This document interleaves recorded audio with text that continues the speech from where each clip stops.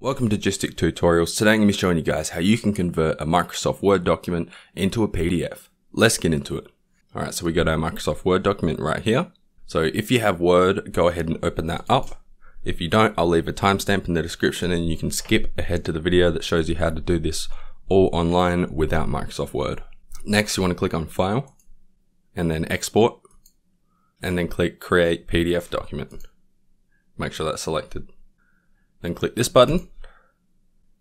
And now you can choose the name of the file and where to save it. So I'm going to save it to my desktop. Click publish.